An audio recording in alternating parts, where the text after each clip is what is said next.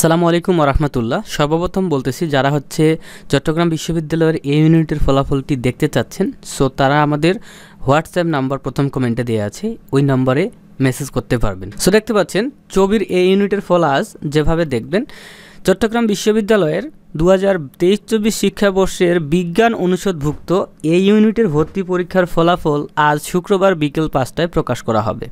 বিশ্ববিদ্যালয়ের ভর্তি সংক্রান্ত কমিটি দ্য ডেইলি ক্যাম্পাসকে বিষয়টি নিশ্চিত করেছেন।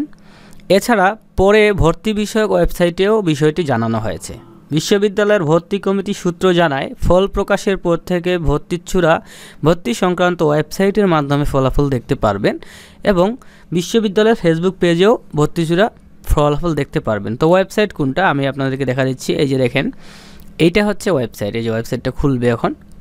এই যে দেখতে পাচ্ছেন, এটা হচ্ছে চট্টগ্রাম বিশ্ববিদ্যালয়ের যে ওয়েবসাইটটা। Admissions admission dot CU dot AC dot এইটা।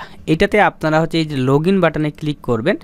ক্লিক করে আপনাদের ইউজার আইডি এবং পাসওয়ার্ড দিয়ে লগ করবেন, তারপর কিন্তু রেজাল্টটি দেখতে পারবেন। তো আমার কাছে হচ্ছে কোনো ইউজার আইডি পাসওয়ার্ড কারও নাই, যার কারণে আমি কীভাবে দেখতে হবে প্র্যাকটিক্যালি কিন্তু দেখাইতে পারতেছি না। ক্লিয়ার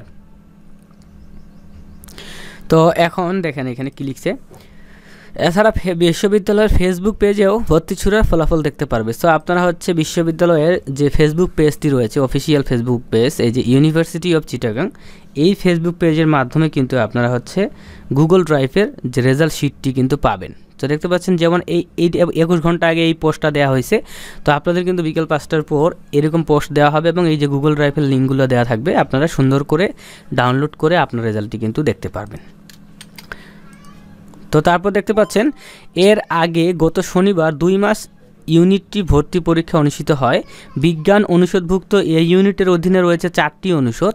এগুলো হলো বিজ্ঞান, জীববিজ্ঞান, ইঞ্জিনিয়ারিং ও মেরিন সায়েন্স অ্যান্ড ফিশারিজ। এ চার অনুষদে মোট আসন রয়েছে এক হাজার দুইশো পনেরোটি। আবেদন করেছেন নিরানব্বই হাজার পাঁচশো একুশ জন। এর মধ্যে পরীক্ষায় অংশগ্রহণ করেন সাতাত্তর হাজার দুইশো উনষাট জন, অনুপস্থিত ছিলেন বাইশ হাজার দুইশো বাষট্টি জন পরীক্ষার্থী। তো আজকে হচ্ছে আপনাদের ফলাফল দিবে। তো আপনারা যারা ফলাফল খুব দ্রুত জানতে চাচ্ছেন, তারা আমাদের হোয়াটসঅ্যাপ নাম্বারে অবশ্যই মেসেজ করবেন। আমরা হচ্ছে আপনাদের রেজাল্টটি খুব দ্রুত পাঁচটার পর দেখে দেখে দিব ইনশাল্লাহ তো এই ছিল আজকের ভিডিও। তো লাইক করে দিবেন। আল্লাহ হাফেজ।